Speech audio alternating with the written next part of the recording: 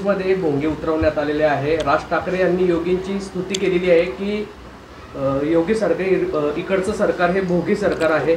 इकडे फक्त सत्तेचे भोगे आहेत. भोगीचा अर्थ मला तरी वाटतं त्यांना पूर्ण कळलेला नसेल. आणि मला तरी असं वाटतं की तीन पक्ष तीन वर्षामध्ये तीन भूमिका बदलणाऱ्या राज ठाकरेंना आता एजंट म्हणून काम करावं लागतं आहे ते एजंटगिरी करताय.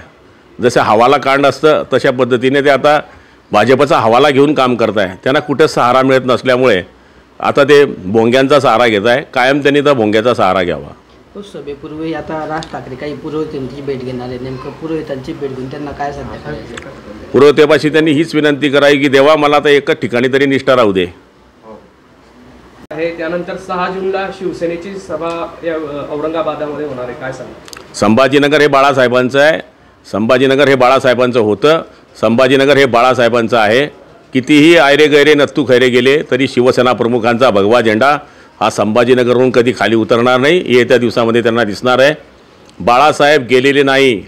बाळासाहेबांचे डबिंग करणारे इथे आहेत पण बाळासाहेबांचे विचार हे मनामध्ये आहे. त्यांनी कितीही करू द्या वल्गना भगवा झेंडा हा संभाजीनगरमध्ये फडकणार.